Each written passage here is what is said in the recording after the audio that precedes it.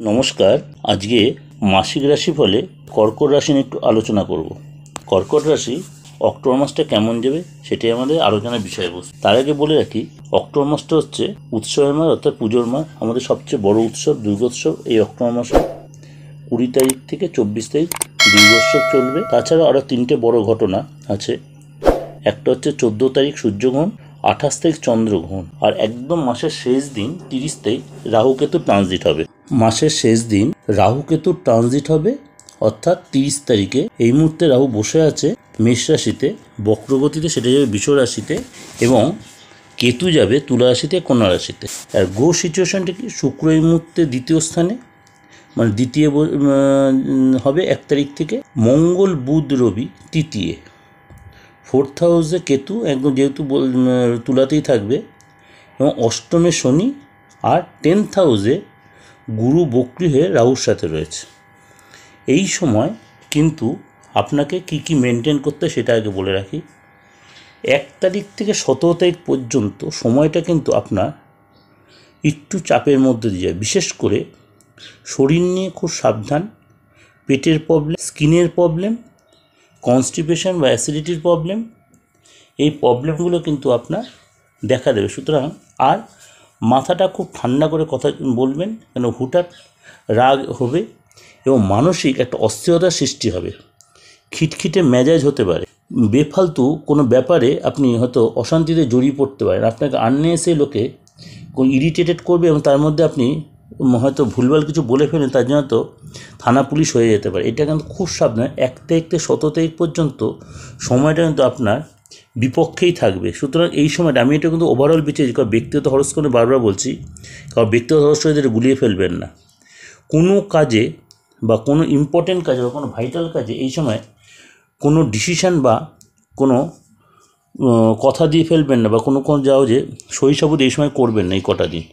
সব মানে মাসের প্রথম দুটো সপ্তাহ আপনি খুব কসাসলি মেনটেন করবেন, যত পারবেন মানে নিজেকে একটু রিজার্ভে রাখবেন। সে কাজের জায়গায় হোক, ব্যবসার জায়গায় হোক ফ্যামিলি লাইফে হোক, বন্ধুবান্ধবের ক্ষেত্রে হোক হাজব্যান্ড ওয়াইফের ক্ষেত্রে হোক, বা যারা স্টুডেন্ট যারা স্কুল লাইফে কলেজ লাইফে সব জায়গাটা একটু নিজেকে কসাসলি মেনটেন করেন। কিন্তু তারপরে উনিশ তারিখ থেকে কিন্তু সময়টা আস্তে আস্তে আপনার ফেভারে আসবে। কেননা সেই সময় শুক্র, শনি, সমসপ্তম যুগের একটা ভালো রেজাল্ট কিন্তু আপনি পাবেন। ধনপ্রাপ্তির একটা সম্ভাবনা প্রবল হবে। ভালো যোগাযোগ হবে, ভালো কারোর সাথে যোগাযোগ হবে যে আপনাকে হেল্প করবে বা হেল্প করার মানসিকতা বা আপনাকে কোনো ভালো সাজেশান দেবে। মানে আর্থিক এবং অন্যরকম মনে করুন আপনাকে মেন্টালি কোনো সাপোর্ট দেবে। আপনি হয়তো এই সপ্তাহের প্রথম এক, দু সপ্তাহ যে চাপের মধ্যে সেই জায়গাতে বেরিয়ে আসার জন্য আপনাকে অনেকটাই মেন্টালি সাপোর্ট দেবে। কিন্তু এই সময় তো খুব সাবধানে কোনো বাগবিতণ্ডে জড়াবেন না। ভালোভাবে কথা বলবেন লোকের সাথে। যেটা দেখবেন, যে যেটা আপনার পোষাচ্ছেন, সেই জায়গাটা আপনি চুপচাপ সরে আসবেন। কোনো আটকে থাকা অর্থ ফিরে পাবেন, কিন্তু সেখানটাও চেষ্টা করবেন কোনো অশান্তি মনে না গিয়ে, কোনো আর্গুমেন্টে না গিয়ে তাদের সাথে ভালোভাবে ব্যবহার করে সেই টাকাটা রিকভারি করার চেষ্টা করে তাহলে অনেকটাই রিকভারি হবে। সরকারি কোনো কাজ, বিশেষ করে গভর্নমেন্ট রিলেটেড কোনো কাজ আটকে থাকলে, এই সময় কিন্তু তা সলভ হবে। যদিও এই সময় অনেকটা দিনই পুজোর জন্য বন্ধ থাকতে পারে, সেই দিনগুলো বাদ দিয়ে অনেকটাই আপনার সাপোর্টে দেবে। যারা সরকারি জব করছেন, তারা কিন্তু এই সময় বেনিফিটেড হবে। মানে এই সময় কোনো পথ পেতে পারেন বা কোনো ইনক্রিমেন্ট হতে বা কোনো আনএক্সপেক্টেড কোনো সুযোগ সুবিধা আপনি পেতে পারেন। এই মাসে অনেক ভালো ভালো লোকের সাথে আপনার পরিচয় হবে। সে রাজনৈতিক লেভেলের হোক, ও ক্রিয়েটিভ লাইনের হোক যাদের সাথে আপনার একটা ভালো সম্পর্ক তৈরি হবে, যারা আপনাকে কোনো সুবুদ্ধি দেবে এবং সেই বুদ্ধি দ্বারা আপনি অনেকখানি কোনো কাজে সাকসেস পাবেন। তাদের সাথে হয়তো অনেকটাই মেলামেশা করবেন বা তাদের সাথে একসাথে ওঠা বসা, খাওয়া দাওয়া এরকম কিছু আপনার হতে পারে। কিন্তু খুব সাবধান, কোনো কারণে, আপনার ব্যাপারে হোক বা কারোর ব্যাপারে হোক, আপনার কিন্তু একটু থানায় যেতে হতে বা কোর্ট কাচারি হতে পারে। এটা একটু মেন সাবধানে দেখবেন যেন এরকম সিচুয়েশন যেন না হয়। আধ্যাত্মিক চেতনাটা অনেক বৃদ্ধি পাবে। মনটা সবসময় ওই ঠাকুর দেবতা নিয়ে ভালো লাগবে। ঠাকুর দেবতা পুজো আচ্ছা ঠাকুর দেবতার গান নিয়ে আপনার শুনতে ভালো লাগবে। আধ্যাত্মিক মানে কোনো গুরু সান্নিধ্য পেতে চাইবেন। এই সময় গুরু দীক্ষাও নিয়ে নিতে পারেন হয়তো। যদিও পুজোর মাস এটা পুজোর প্রতি আপনার খুব ইন্টারেস্টেড হবেন। ঘরে হয়তো কোনো আধ্যাত্মিক গান শুনতে ইচ্ছা করবে চালাবেন। ঘরের মধ্যে একটা সবসময় তো সেরকম একটা পরিবেশ তৈরি করার চেষ্টা করবেন আপনি। মানে এইগুলো কিন্তু আপনার জন্য যথেষ্ট ফেভারেবল উনিশ তারিখের পর থেকে কিন্তু এটা অনেকটাই আপনার ফেভার কোনো বৈদেশিক রিলেটেড কোনো গুড নিউজ আপনি পেতে হয়তো আপনি অনেক দিন ধরে চেষ্টা করছেন বিদেশে ঘুরতে যাওয়া বা বিদেশে কোনো কাজের জন্য বা বিদেশি কোনো অর্থ আর্নের ব্যাপার চলছে, এই সময় কিন্তু সেই জায়গাটাতে আপনি বেনিফিটেড হবেন। আপনার যদি সন্তান থেকে থাকে বা আপনি বিবাহিত হন, আপনার সন্তান কিন্তু কোথাও ঘুরতে যেতে পারে বা আপনার কাছে বায়না ধরতে পারে। সন্তানের কোনো জব মিলতে পারে। হয়তো অনেক দিন আপনার সন্তান কোনো চাকরির চেষ্টা করছে এই সময় কিন্তু জব মিলতে বা খুশির খবর পেতে ফ্যামিলি কারোর কোনো ভালো খবর আপনি পেতে পারেন। ঠিক আছে এক্সট্রা ইনকাম হতে পারে, কিন্তু সাবধান।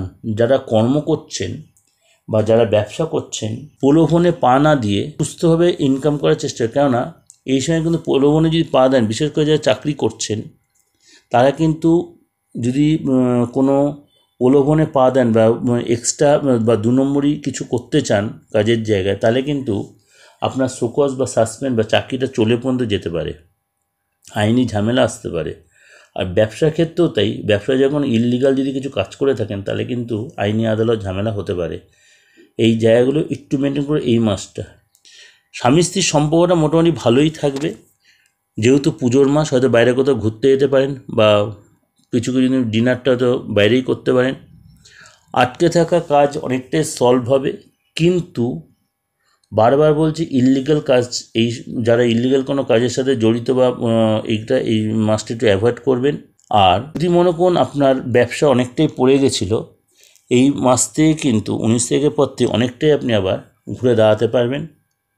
কোনো কেউ আপনাকে অযাচিতভাবে হেল্প করতে পারে, সেই হেল্পটা কাজে লাগাবেন তাদের ব্যবসা ডেভেলপ হবে। আপনার ব্যবসাতে ডেভেলপ করার জন্য আপনি হয়তো কোনো গুরুর সান্নিধ্য নিতে পারেন বা গুরুর পরামর্শ নিতে বা কোনো তন্ত্র বা তান্ত্রিকের পরামর্শ নিতে পারেন, যাতে আপনার সেই জায়গাটা অনেকটা ডেভেলপ হবে। কর্মচারী থেকে কিন্তু কোনো প্রবলেম আসতে পারে কাজের জায়গা বা ব্যবসার জায়গায়। আপনার কর্মচারী কাজ ছেড়ে দিতে পারে, আপনাকে চাপে রাখতে পারে, মায়না বাড়াতে বলতে পারে, চুরি করতে পারে এই নিয়ে আপনার সাথে বাদ বিবাদ হতে পারে কিন্তু। অর্থাৎ ব্যবসাতে কর্মচারীটা বা যাদের কর্মচারী রিলেটেড ব্যবসা, তারা কিন্তু এই এখন চাপে ভুগবে। আপনার সাথে শত্রুতাও করতে পারে। আপনার বিরুদ্ধে কোনো কনস্পিসি করতে আপনার স্টাফ আপনার কিন্তু এই সপ্তাহটা বা এই মাসটা একটু গুপ্ত শত্রু বাড়বে। এইগুলো একটু মেনটেন করবেন সাবধানে। এক কথায় বলছি, মাথাটা ঠান্ডা রেখে মুখের ভাষা ঠিক রেখে যদি কন্ট্রোল করতে পারেন, আপনি এই জায়গাটা অনেকটা রিকভারি করতে পারবেন। যাই হোক, এগুলো ওভারঅল বিচার, কোনো ব্যক্তিগত হরস্কোপ নয়। অবশ্যই আশা করি আপনাদের অনেকাংশেই মিলবে এবং যদি ভালো লাগে, অবশ্যই লাইক করবেন এবং সবার মধ্যে শেয়ার করে দিন। আরও অনেক বেশি শেয়ার করলে অনেক অনেক বেশি মানুষ উপকৃত হবে। এবং যদি আমার সাথে দেখা করতে চান, অবশ্যই আমার বুকিং নাম্বার নিচে রয়েছে, যোগাযোগ করতে পারেন। আর সাবস্ক্রাইব করে নোটিফিকেশন বেলটা অন করে রাখবেন। আর যদি নমস্কার, সবাই ভালো থাকুন।